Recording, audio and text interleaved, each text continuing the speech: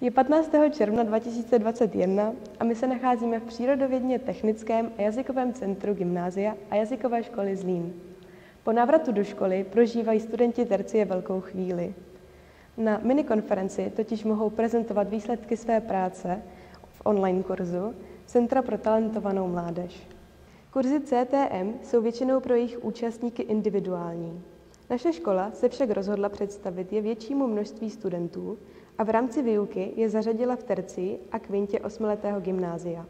Centrum pro talentovanou mládež nám tuto možnost nabídlo poprvé v loni pro starší studenty v kurzu kritického myšlení a letos doplnilo také základy přírodních věd pro nižší stupeň. Jak se vám kurz líbil? Tak eh, mně se kurz, kurz líbil velice, ale bylo to také náročné. Mně se kurz také velmi líbil, ale mně se mi líbilo jako ty nové věci, co jsme se tam naučili. Mm, bylo to pro vás těžké? Eh, tak hlavně časově, to bylo asi tak. Já myslím, že ty témata nebyly těžké, spíš bylo nejtěžší právě si zorganizovat ten čas. Mm, jak jste to zvládali se svojí úrovní angličtiny? Eh, tak to bylo úplně v pořádku. Občas jsem se naučil něco nového, ale jinak to bylo furt to stejné.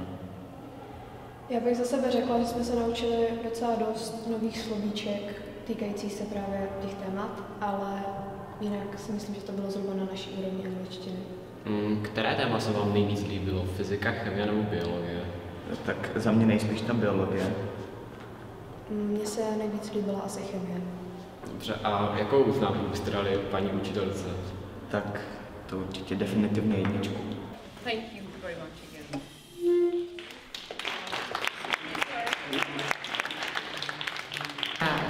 Jsem vlastně měla tu čest pracovat jako lektor a učitel kurzu with Science, který společně s Literature, uh, Literacy and Critical Thinking jsme přijali jako výzvu ve spolupráci s Centrem talentované mládeže a tak trošku zapadl do našeho konceptu ukázat našim žákům co nejvíce možností, které existují, ze kterých oni, oni by mohli vybírat dále eh, ve chvílích, kdy se rozhodují o svém dalším studiu, o své další kariéře.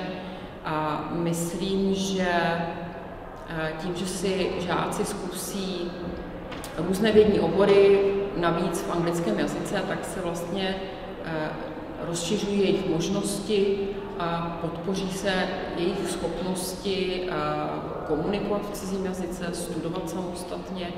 A myslím si, že tento způsob je hodně efektivní, je moderní, žákům se líbil a také si myslím, že se nám daří tímto způsobem podpořit větší množství žáků, než jsou jenom jednotlivci. Mě nejvíce potěšily dvě historické události. V roce 2019 jsme se dostali do takového, do takového top výběru deseti škol v České republice s největším počtem zapojených studentů v online kurzech CTM. A v témže roce jsme se stali také partnerskou školou Centra pro talentovanou mládež. To nás opravdu velmi těší. A Musím říct, že kromě online programů, ve kterých se snažíme podporovat eh, naše studenty s talenty všeho druhu, a letos i přes pandemii a všechny ty velmi složité okolnosti eh, jsme jich měli zapojených současně neuvěřitelných 33, tak se snažíme také vytvářet doprovodné programy. Mezi ně patří třeba badatelské kluby CTM.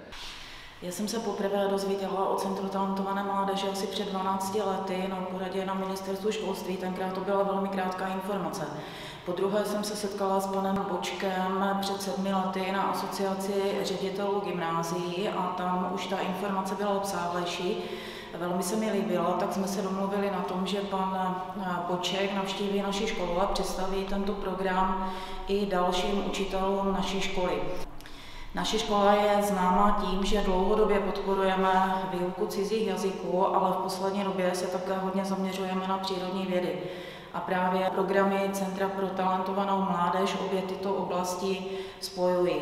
Nechceme v naší škole vytvářet nějaké elity, ale na druhou stranu si myslíme, že všichni naši studenti mají nějaký talent, že mají nadání a my chceme jako škola tento talent v nich objevit a také ho dále rozvíjet.